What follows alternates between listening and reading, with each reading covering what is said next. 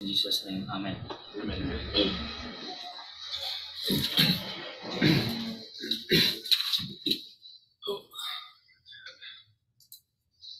Good.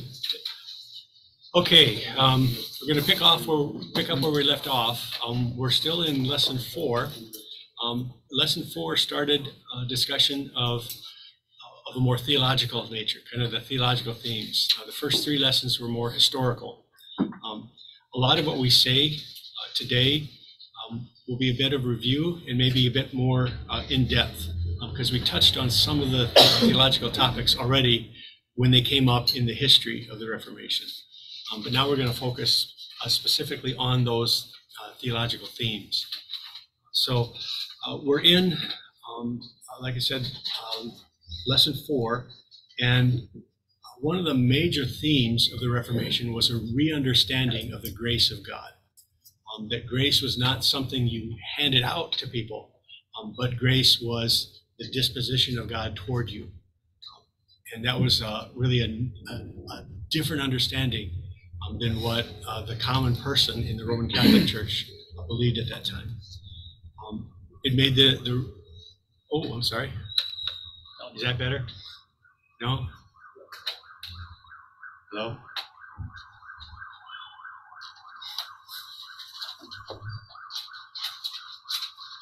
No? Now can you? Oh, now you can hear me. okay, sorry about that. Uh, one of the, uh, the, the changes that the Reformation brought was a, a new understanding of the grace of God. That it was God's disposition toward you and not something that the priest could hand out um, from, from this treasury of merit?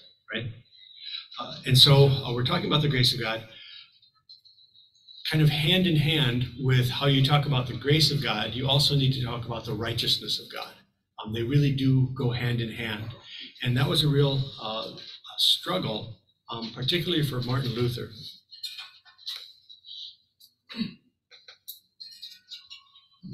Um,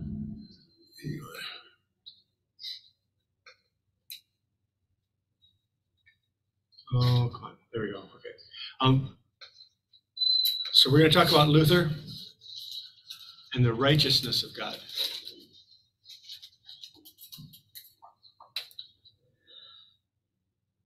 Um, in Luther's day, the Catholic Church really didn't have any clear teaching on the righteousness of God. It was just kind of kind of a de facto way of doing things, right? Um, a lot of people, including Luther, really struggled to understand what the righteousness of God meant. Um, when Luther was younger, in his younger days, as when he was still a, a Roman Catholic priest, um, he interpreted God's righteousness as God's uh, complete and impartial dealings with man. So he, God was like a righteous judge, and he would be complete and impartial. But that made Luther um, really concerned because who can stand under God's judgment? God is perfectly righteous, and who can stand under that?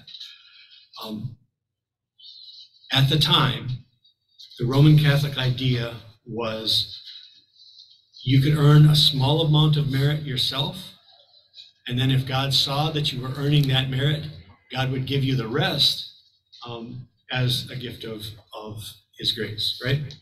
Um, so you would go a little ways, God would take care of the rest. Um, in around 1515, this, that'd be about seven years before he nailed the 95 Theses um, on the door of the Church of Wittenberg. Um, around 1515, he really uh, wrestled with that um, because he realized he couldn't even produce that little small amount of merit um, uh, that God would uh, see and then give the rest, right? Um, he knew that if, if there was any precondition for his salvation that depended on what he did, um, he was in trouble. Um, but then Luther discovered Augustine. Um, remember, Erasmus translated a lot of the early church fathers as well, including Augustine.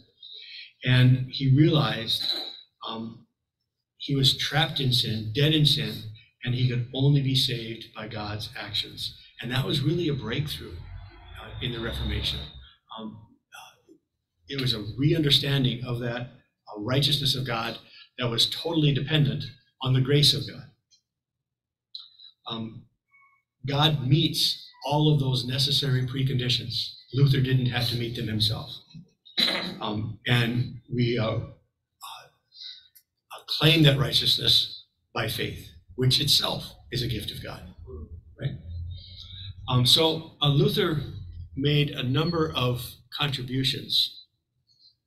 Um, not only did he kind of re- have a new understanding of grace and righteousness, he also had a new understanding of faith. And he made a number of contributions as he was working through that. Um, faith goes beyond just a knowledge of what Christ did in history. Um, it, it also includes this personal commitment, right? Um, it's, it's a commitment of the heart, um, not just a, a, a historical knowledge, right? Um, so uh,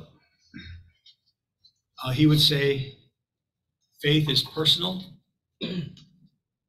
rather than simply historical. Now, there can be some historical elements in, in it. Um, there are those who know the day they were converted. Augustine was one. Um, he knew the day that he was converted, even the hour. He could go back to the hour when he was converted, right? Um, but but there's that personal characteristic of faith, and Luther um, understood that and communicated that to others. Um, he also uh, said, faith is a trust in the promises of God. Um, faith acted on those promises. Luther spoke of faith uh, kind of like if someone um, who, wants, who wants to cross an ocean. Uh, if you want to cross the ocean, you need a ship. And uh, you can see the ship in front of you, but you'll only step onto that ship if you know that if you put the weight on that ship, that boat is that ship is gonna gonna hold you up. If it falls apart, you're in trouble, right? Um, and he said, Luther said, the same way the believer has to have faith in what he called the ship of Christ, right? Um, faith acts on the belief, faith steps on that ship, um, but Christ is the ship that holds him up, all right? Um, so that's uh, another contribution that he made. He also said, I need to, I don't know, I'm getting all kinds of uh, things. Let me uh, put do not disturb on. Sorry about that. I had a, uh, a brother who was a professor at Purdue University, and he had a rule that if your cell phone went off during class, you owed a you owed a treat. Uh, you had to give donuts the next day to the whole class. Okay, wait, wait. Uh, And-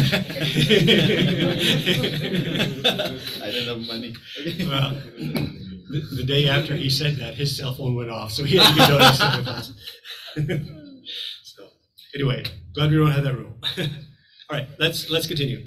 Um, Luther also said, um, faith faith does not depend.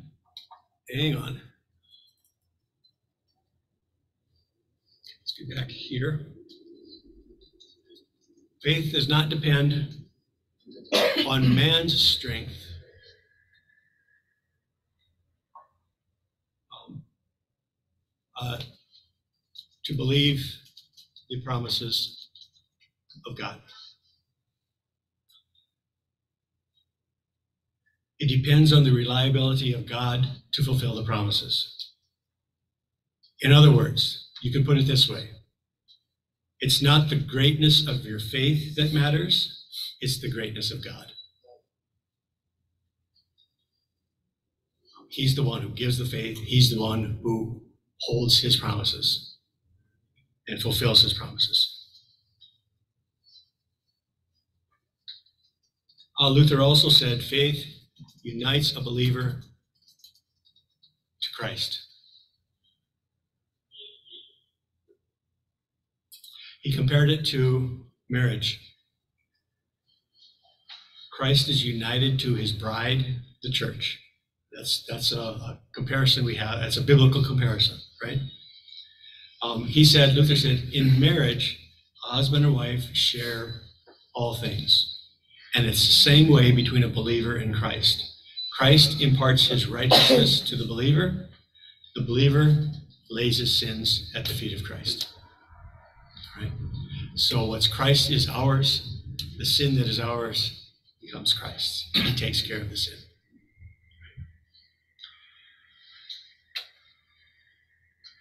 He said uh, also, in faith, the whole man turns to God and Christ reveals himself. It's not just introducing himself to the believer. Christ reveals all of his benefits to the believer. And in faith, the believer receives all those benefits through faith in Christ. Um, so we are one with Christ in that way. Another way he put that was to know Christ is to know his benefits.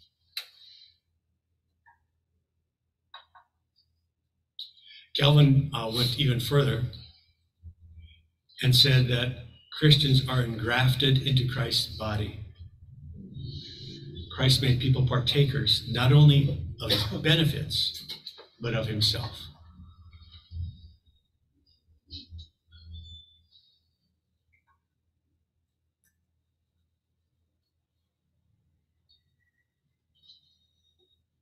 Another uh, change of understanding um, is that faith is not a human work.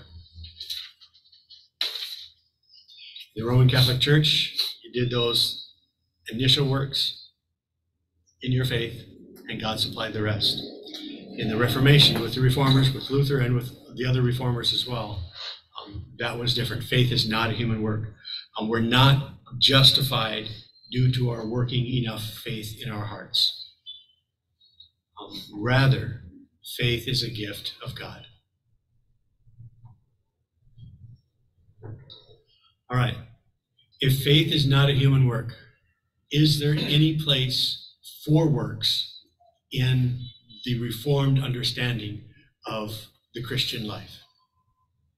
Um, there are many people, and we, we touched on this before, but there are many people who uh, claim that Luther really didn't like works at all. In fact, uh, many people claimed that Luther was antinomian, against the law altogether. Um, so we need to talk about that uh, in a little bit more depth as well. Um, many saw Luther as antinomian.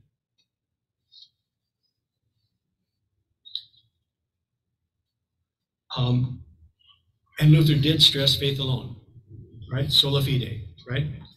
Um, and he seemed to be speaking against works. In fact, in some of his more unguarded moments, um, he may have spoke of maybe even a little too harshly regarding works. Um, but that was one of the, the sticking points with the, with the Roman Catholic Church. Um, the, the faith um, that they required was a work um, in the Roman Catholic Church. And so he really reacted very strongly against that, right? Um, but Luther, Luther said um, faith was not a product of good works, but he flipped it around and said good works are a product of faith or a fruit of faith.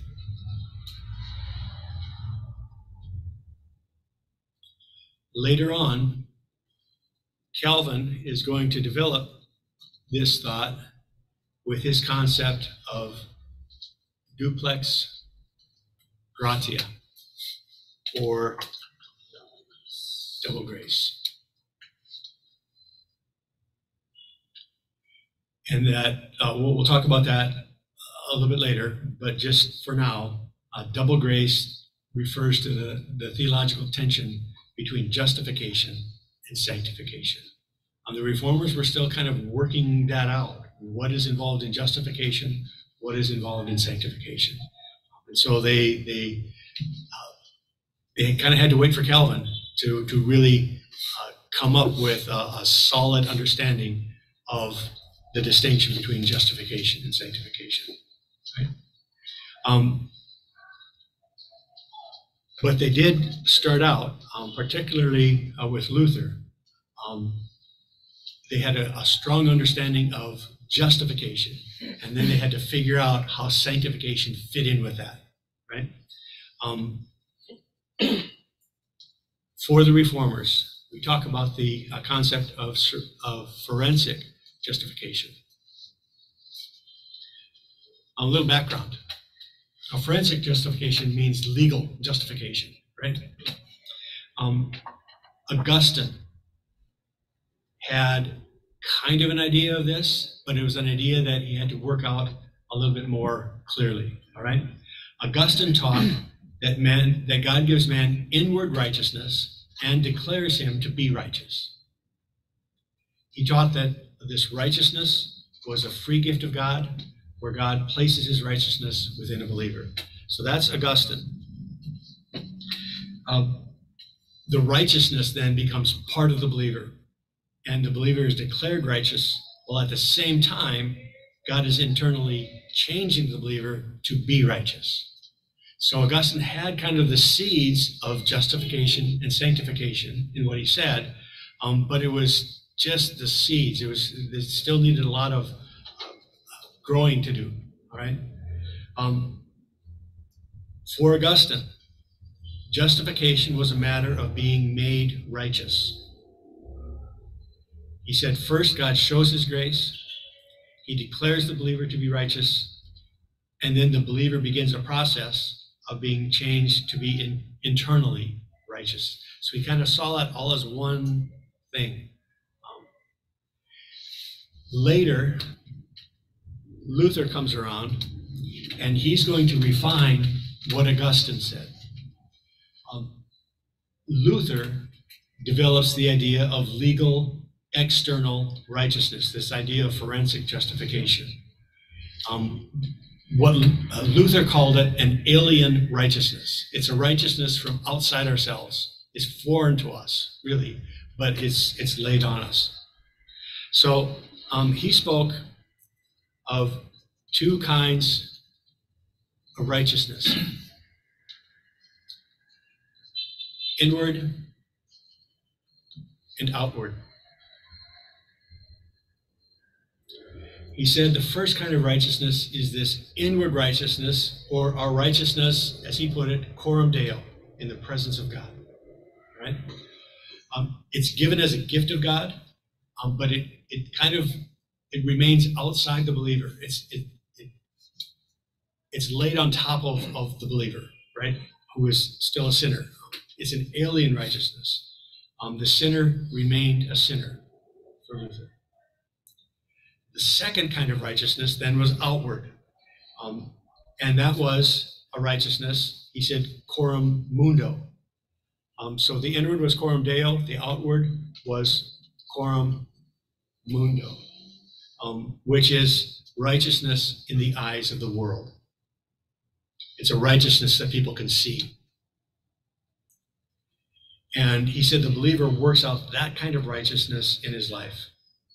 Um, the believer is gradually transformed and he's becoming increasingly righteous. So, by saying that there's the, the, the believer has both inward and outward righteousness, one that is just laid on top of him, and one that he works out in his life and that people can see, he was really saying that sin and righteousness can coexist in a believer. We're getting closer to an understanding of justification and sanctification. Um, I'm just wondering if this was before or before or after he said that James, the epistle to James, is uh, kind of uh, not should not be that he didn't that he didn't like the epistle of James. Yeah, He didn't want it to be part of the of the New Testament canon. Um, I'm not sure if, if this was before or after. I, I, I always assumed that his, his comment about James was made fairly late in, in his ministry, so this has probably worked out even before that. Yeah, but I don't know. Uh, I don't know for sure. Yes. So you, you can see um, from Augustine to Luther, um, there's this understanding, uh, kind of a in in seed form of what justification is and what sanctification is. Um, but they still don't have the terms that they're defining it. They're still working it out. Uh, Luther leaned on Augustine to kind of work things out. Um, later, um, uh, after uh, Luther, Melanchthon, um, Luther's heir, um, refined Luther's position even a little bit more.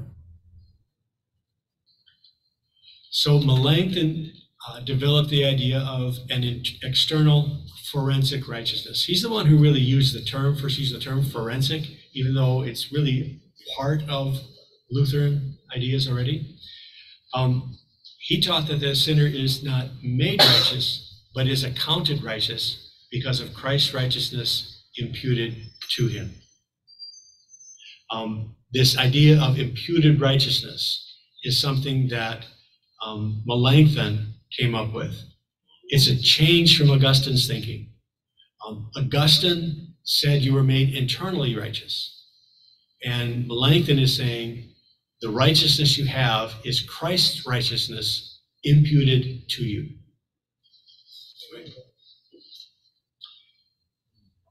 That idea of imputed righteousness from, from that point on was what all of the reformers agreed on. Um, that uh, Christ imputes his righteousness to us. Uh, it's, it's the great exchange, right? Christ gives us his righteousness, we give Christ our sin, right?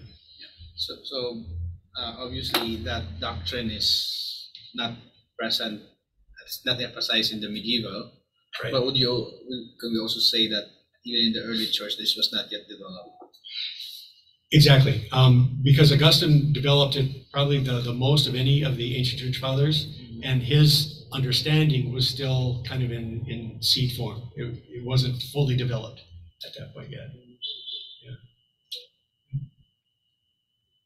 It's just interesting that it took that long to Yes, it is. Um, and uh, if you study, you know, theology in seminary or so, uh, you, you wonder sometimes uh, the, the the technical terms that they use, like imputed righteousness, and so it's, it, it can sound very technical.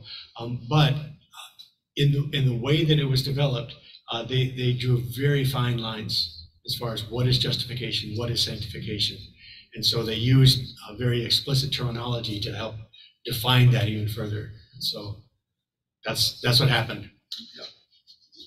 Sir? Yeah. Oh, te- technically, uh, right now, when like when people say that they, they embrace reform theo- theology, but as, as, as we look at uh, history, uh, it's like you have to be specific which one. Because like this one, Augustine, Luther, and Melanchthon, they differ. So, so when I say I, I embrace reform theology, I have to be specific which one of those theologies. and if you look at uh, the rest of the reformers, there are differences. We, we have studied from that, that uh, the two days that they, they have all different differences. Yeah. So when, when, when someone today say that I embrace reform theology, then maybe we'll say, which one? Uh, it it is it is quite possible uh, that that would be a legitimate question to ask. Which one? Because we, we talk about Reformed theology. Um, there are some people who limit Reformed theology to the canons of Dort, you know, the tulip. Um, um, but but Reformed theology is much broader than that. Really, Reformed theology, in my mind, um, refers to the theology that that was developed during the Reformation, right? That came out of the Reformation. But you, you're absolutely right. There were different strains of that. Um, Lutheran theology is different than what we now call Reformed theology, but they're really both part of the Reformation, right? So you really, to use the term Reformed is is probably too broad to, to be of a lot of use. yeah, um, I would prefer to say biblical, but that's me. uh, during the like uh, 1700s, uh, was there already a, a refined like this is this is the only reform teachings? Uh, when when Calvin came along and published um, his second edition of the Institutes of the Christian Religion, um, that probably um, solidified Calvin's position as kind of uh, the main theologian of the Reformation. And so, um, even today, the word reformed very often is used to signify just those churches that kind of fall under Calvin's umbrella. Um, and so, a Lutheran today probably wouldn't call himself reformed, even though he's a Lutheran is a child of the Reformation as well. And same thing with Arminian uh, churches. Um, they're also part of the Reformation um, even though it kind of settled on Calvin just because he was kind of the main theologian and articulated everything um, in, in, much greater detail than, than others. So, so the official, the official reform are the Calvinists. you know, uh, that's where the that's where the term usually lands. Is if you're reformed, you you identify with the theology of, of John Calvin. But to me, the, the Reformation is much broader than that. There's a lot of things, more things that are going on. Yeah, and uh, I mean, it's also you cannot. You, you always have to tie it up with ecclesiology, with how how churches is, is Function. done, how functions. Mm-hmm. So it, it also the church government is also involved in how well, how the the reformers. Because one of the things that they fought against was the hierarchical uh, form of government so right. If we still go back to that, then we're not following the reform, the uh, yeah, the reform way. If we go still go back to the hierarchical uh, form. Yeah. yeah. All right. Let's uh, let's uh, talk about just a few more people. Um, we talked about Melanchthon and his idea of imputed righteousness. Um, that was um, something that all the reformers uh, figured Melanchthon got it right. And uh, they all uh, claimed uh, that to be a solid theological point, right? Um, Zwingli, at first, uh, Zwingli just stressed the need to follow Christ's examples. Um, he was he was a very practical kind of theologian, right? Um, do the do righteous and holy acts. Um, later, uh, Zwingli kind of followed uh, Luther's stress on justification but he didn't have as, de- as developed an idea of the difference between justification and sanctification. It was just do the right things, do holy things, right? Um, and let's talk just a little bit about Calvin and um, his idea of duplex gratia or double grace. Calvin's position on duplex gratia ultimately became the standard position of all the later reformers. So it's kind of like Melanchthon's idea of imputed righteousness. It was it was more broadly held. Um, it's later reflected in a lot of Reformed creeds and confessions, Belgic Confession, Westminster Standards, Westminster Confession. Um, and so it's reflected in, in that. Calvin taught that Christians are united by, into Christ by faith. And that union leads to their gaining what he called duplex gratia, or a double grace, um, by justification and by inward renewal, what we would call sanctification. So there's two ways that, that God shows his grace to us. One way through justification, one way through sanctification. Um, in your in the course materials, Dr. Zug uh, summarized Calvin's teaching on duplex gratia with three um, propositions. First one, faith unites someone to Christ. It's by faith that the believer enters into a personal relationship with Christ himself. Second proposition. Christians are declared righteous due to the righteousness of Christ. It's not anything we've done. Um, this is the idea of, of Melanchthon's idea of imputed righteousness, right? The righteousness is put upon us. And then the third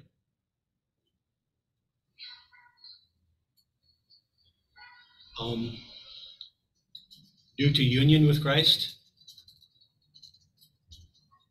God's people are also regenerated. And so begin a process of becoming holy internally.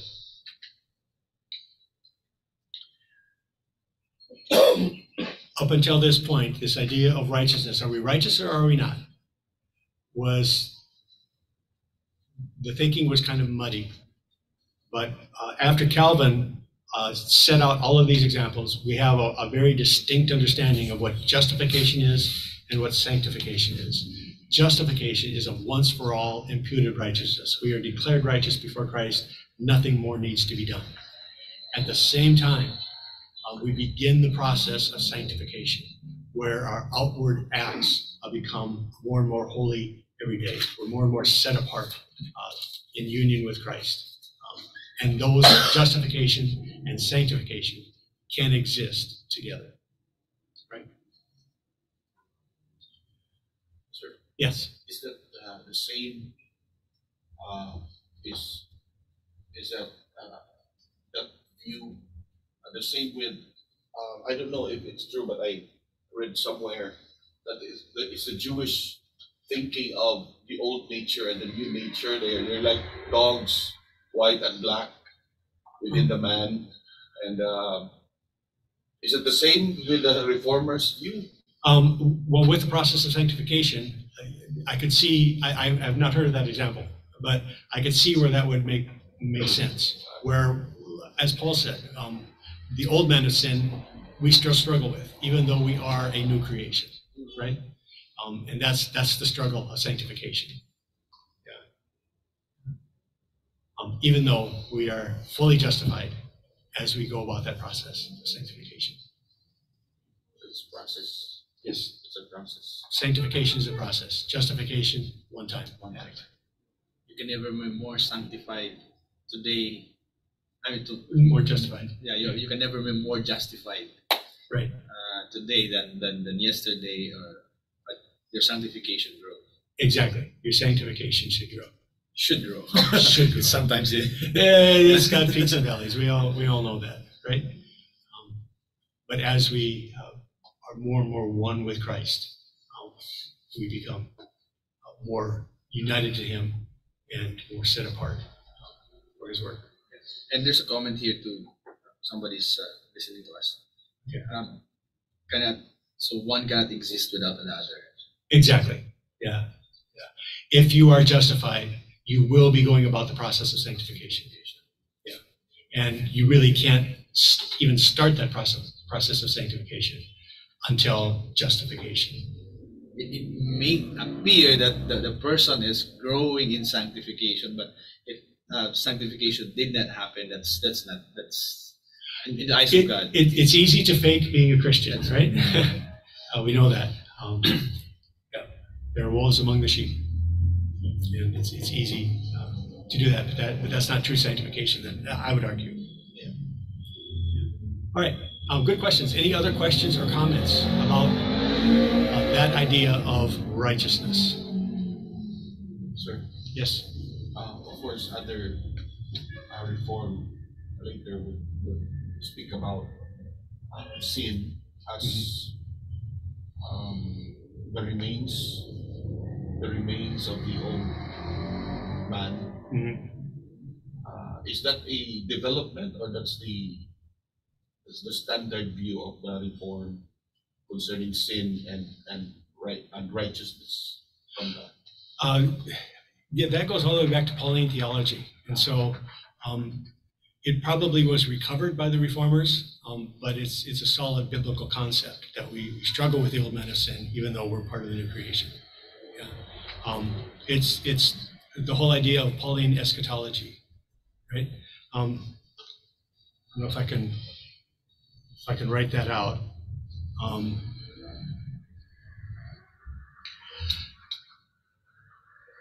with, with the Jews of Jesus' day. They thought there was a creation, and, and then there's the old creation.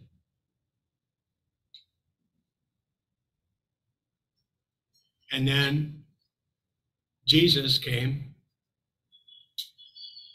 I'm going to say his first coming. And the Jews thought that this would be the new creation.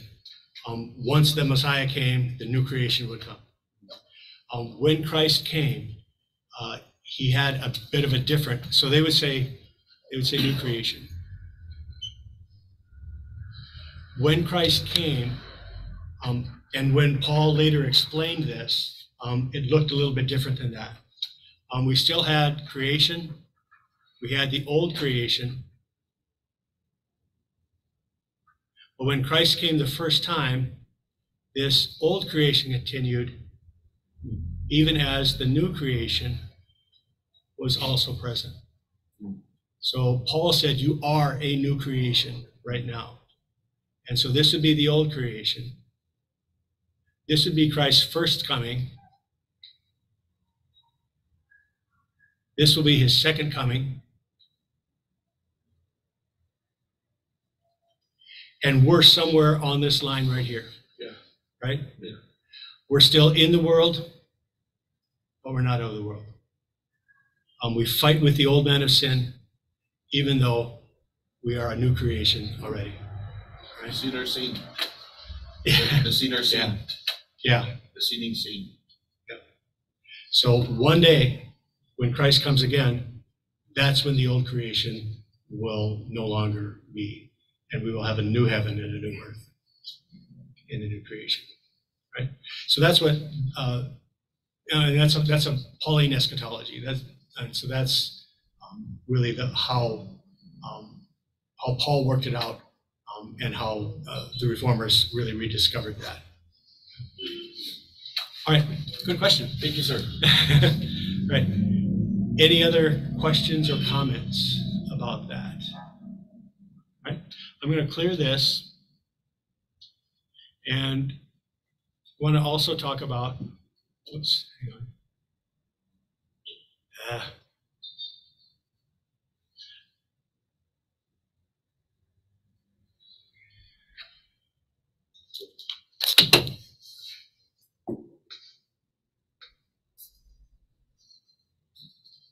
You knew it was coming, right?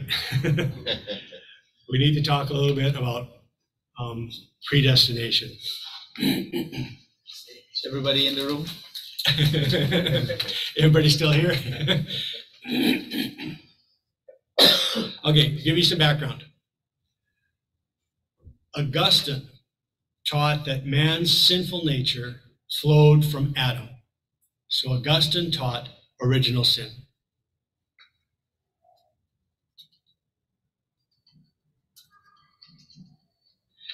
And that was really came out of his um, conflict with Pelagius. Pelagius denied original sin. Augustine taught it, right? Augustine said we're born dead in sin. And in order to save men, God first had to overcome man's sinfulness.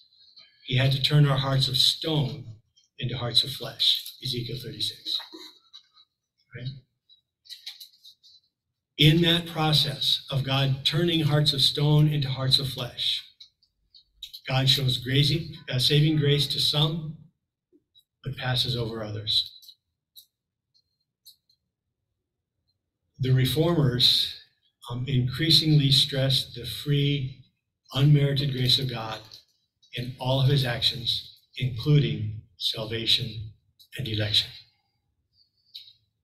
So the real uh, controversy or the real question that came up was who decides who's elect? We all know there are some people that are going to heaven, there are some people that are going to hell.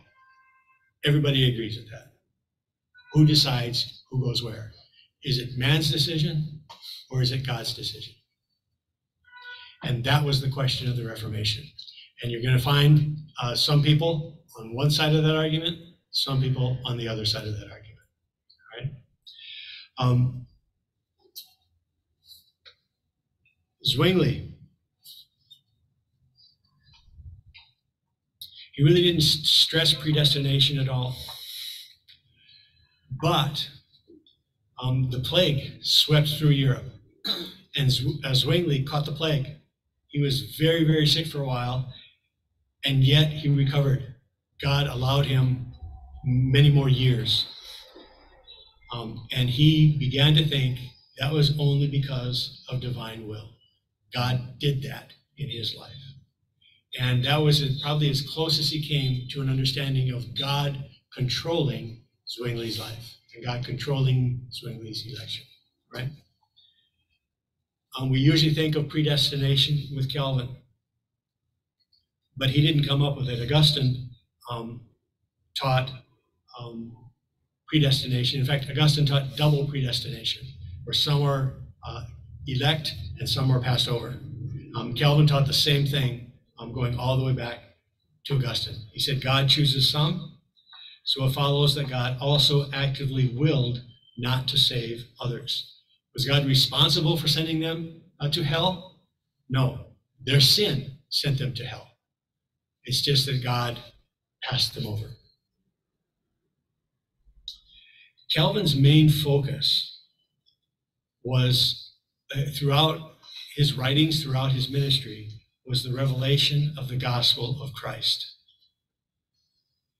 Um, predestin- predestination was important to Calvin, but for Calvin himself, it was never a central aspect of his theology.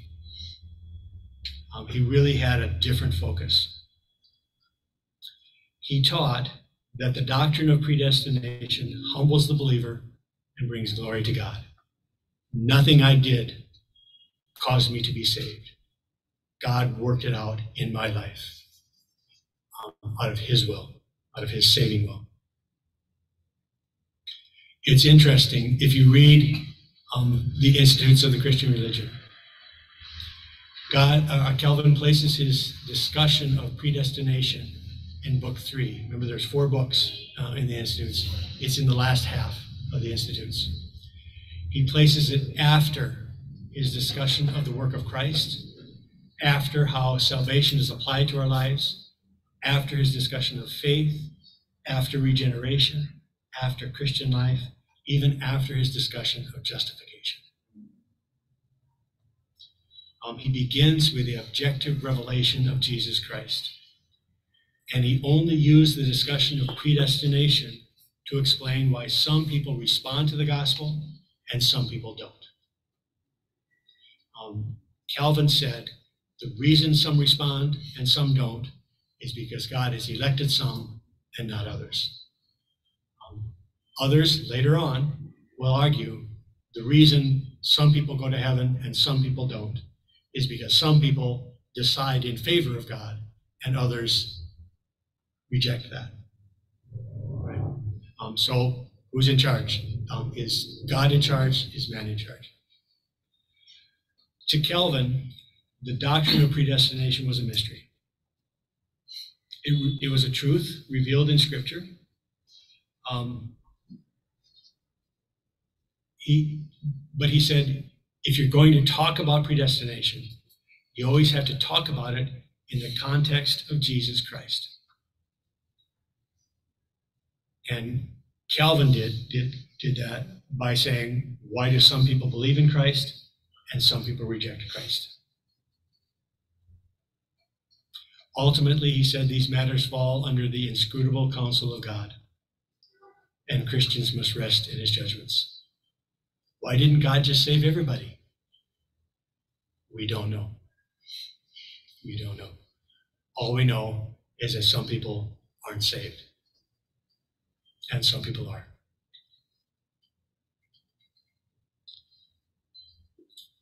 So after Calvin, um, there's another generation of, of reformers. And it's in that generation after Calvin that election and predestination even plays a more central role in their theology. In Beza's Geneva, after Calvin, election was a dominant theme. Um, the reformers taught that Israel were elected by God, and so they also said that God also elected and set apart the Reformed Church.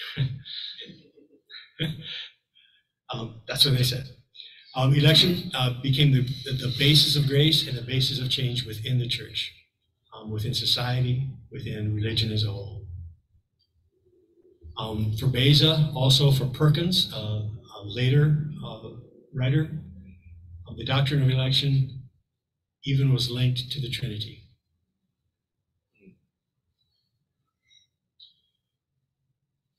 As um, that that next generation developed, there were Lutheran theologians, there were what they would now be called Reformed theologians who, who were in that Calvinist camp. Um, the distinction um, with predestination uh, grew even wider. Um, the Lutherans had a different understanding of what happened than Calvinists. Um, the Westminster Confession um, treats it under the headings of God's eternal decree. Um, so if you want to learn more, um, it's quoted in, in the last part of lesson four in your course materials. It's uh, Westminster Confession, chapter three, articles one through seven.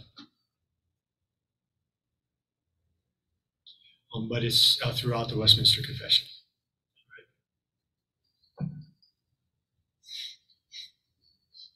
Okay, um, that's all we're going to say um, with lesson four. Um, I'm, I'm going to suggest that we take like a five minute break. We'll get into lesson five, where you thought predestin- predestination was a, was a touchy subject. We're going to talk about baptism. so um, we'll, we'll uh, see how see how things shake out uh, with that as well. All right, and that comes up in lesson five. All right, but let's take a five minute break.